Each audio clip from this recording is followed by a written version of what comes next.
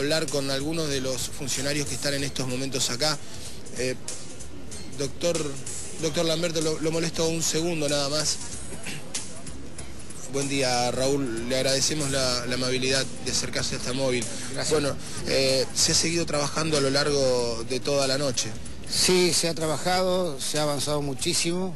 Eh, hay partes donde había 6 7 metros de escombro y se nota sustancialmente que ha bajado. Eh, se ha hecho inclusive un eh, pozo donde entró una persona que pudo llegar hasta el subsuelo y ver el subsuelo.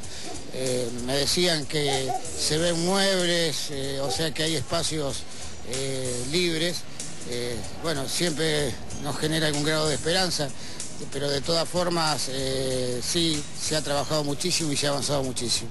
Doctor, recién hablábamos con la intendenta eh, que ha preferido por el momento no hacer declaraciones durante esta mañana, se está interiorizando de cómo se está trabajando o cómo se ha trabajado durante la madrugada y nos decía que viene una etapa dura en estos momentos que tiene que ver con, el constante apoyo a los familiares, no solo a los familiares de las personas que aún están ausentes, sino también para aquellas vecinos, para aquellos vecinos que están esperando ingresar a sus viviendas, porque se les va a permitir durante el día de hoy ingresar a algunas viviendas y hay hasta como para con lo material también una etapa, esto traten de, entenderlo bien, compañeros también lo que, lo que les estoy diciendo, hay como una etapa de, duelo también en donde uno debe hasta entender que en algunos lugares no se puede volver a vivir.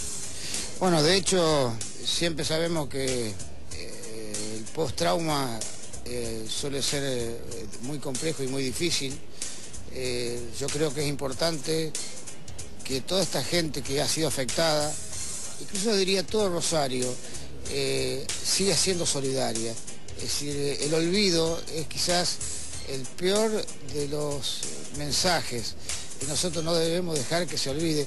Y olvidar significa centralmente que haya solidaridad. La gente muchas veces necesita sentirse acompañada, no olvidada, eh, ser escuchada y creo que todo eso eh, le corresponde al Estado, pero le corresponde también a la sociedad civil, le corresponde eh, a las religiones, a las iglesias, es decir, a la contención humana y por supuesto material. Yo creo que la primera medida que se dio ayer, es decir, por ejemplo en Calle Salta el Estado lo menos salvo de estos dos edificios que hay que darle un tratamiento especial, le va eh, a recuperar el inmueble a la gente. Es un mensaje. Y es un mensaje fuerte porque la gente quiere decir, bueno, si yo tenía una casa, quiero por lo menos tenerla en las mismas condiciones.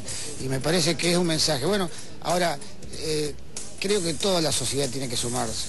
Doctor Lamberto, ayer decía el gobernador que el Estado no, no, va a dejar sola a esta gente han tenido comunicación directa y siguen teniendo comunicación directa con el Estado Nacional, eh, está siguiendo de cerca lo que está sucediendo acá? Bueno, eh, yo creo que se está en comunicación, no soy yo porque usted sabe que si hay algo que hemos tratado en esta, en esta catástrofe es un poco mantener las incumbencias, eh, porque lo peor que hay que uno hable de todo. Pero sí, primero hubo una primera conversación que fue la que se tuvo de forma directa entre el gobernador y la presidenta y después, eh, bueno, nosotros eh, ya desde el primer momento consideramos que era necesaria una asistencia inmediata hacia las, víctimas.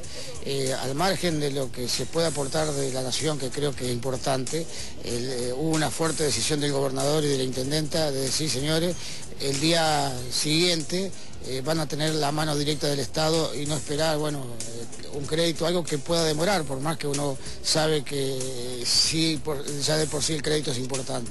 Raúl, muchas gracias. ¿eh? No, gracias a usted. Hasta ahí la palabra del ministro de Seguridad de la provincia, Raúl Lamberto.